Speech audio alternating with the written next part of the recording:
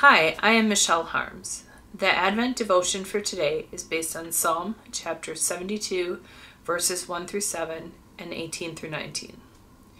Give the king your justice, O God, and your righteousness to a king's son. May he judge your people with righteousness and your poor with justice.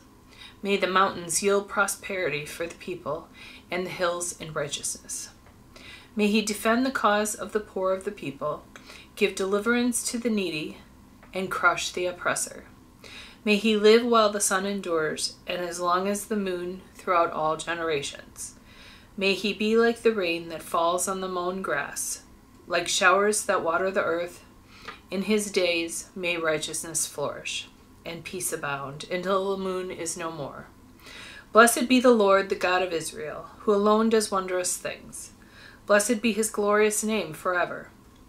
May his glory fill the whole earth. Amen and amen. Today's message. The psalm for today invites us to pray for our leaders, not merely for the sake of their personal well being, but more so that their leadership may lead to the well being of the people in their care.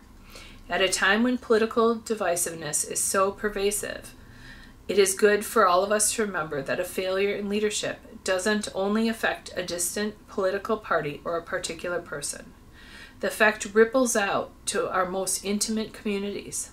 How we engage with the various leaders and how those leaders then engage the issues of the poor and oppressed will deeply shape the health of the overall community. When we are pitted against one another, we lose the vision and possibility of God's kingdom. As you walk or drive through your neighborhood today, what prayers can you lift up for the leaders in your area? Let us pray.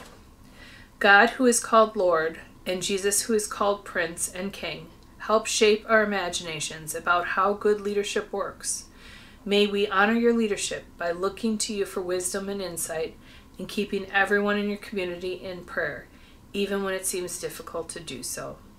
Amen.